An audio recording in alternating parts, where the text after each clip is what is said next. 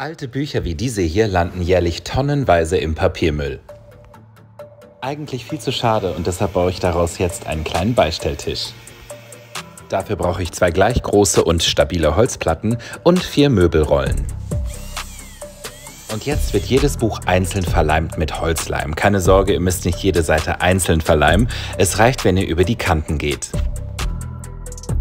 Und dann wird gepuzzelt und gestapelt. Und zwar so, dass am Ende eine gerade Fläche entsteht.